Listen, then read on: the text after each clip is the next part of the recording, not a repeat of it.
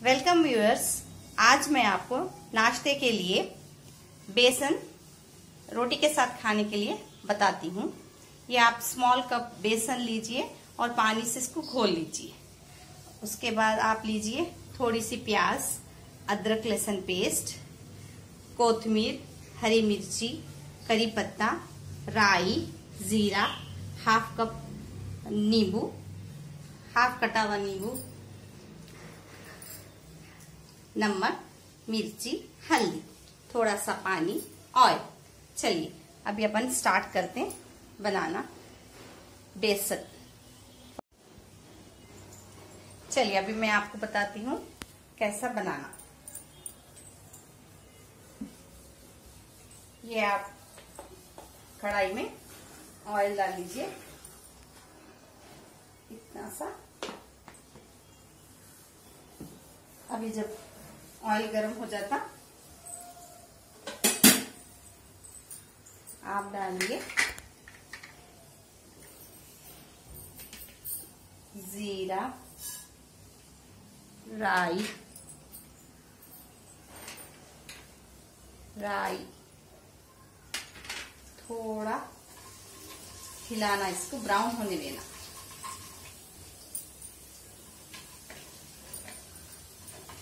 Brown होना।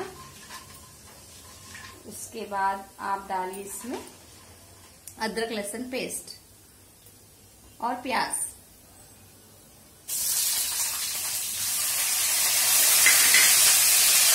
Flame थोड़ी नीचे कर दी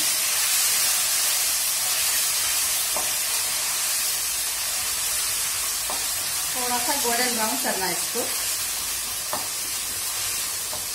ऐसे हिलाते जाइए। जब ब्राउन हो जाता। अब आप डालिए करी पत्ता। हरी मिर्ची। ये बेसन जो अपन पानी में घोल लिए ना इसको, वो ऐड कर लेंगे।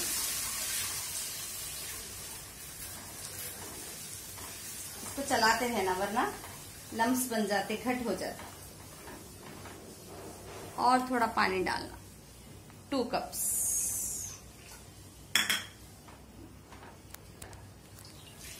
फ्लेम लो रखिए हिलाते हुए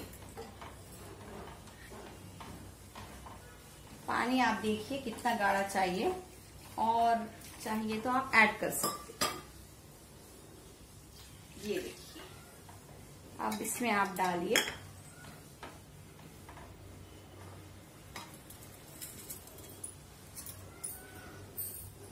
दो चमचे लाल मिर्च।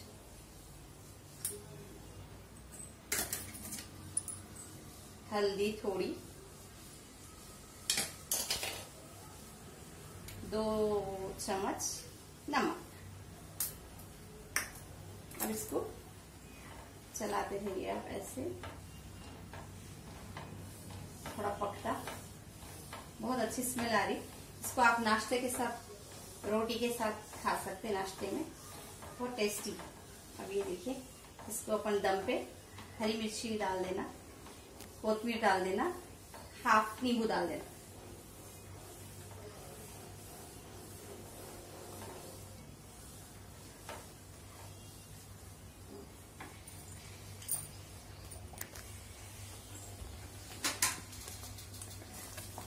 ये देखिए थोड़ा टेस्ट भी कर लीजिए इसको। चलिए इसको सिम पे रख के। अब इसमें आप डालिए नींबू।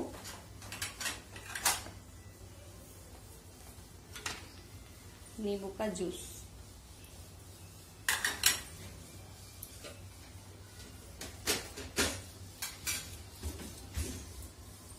आपके टेस्ट के अनुसार आप डाल सकते ये देखिए, आपका बेसन रेडी अगर आपको मेरा चैनल अच्छा लगा तो लाइक करिए शेयर करिए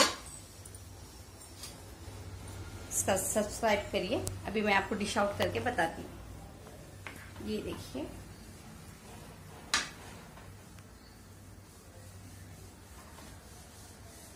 ये है, देखिए, बेसन। नाश्ते में खा सकते हैं आप। रोटी के साथ इसको आप गार्निश कर thanks for watching take care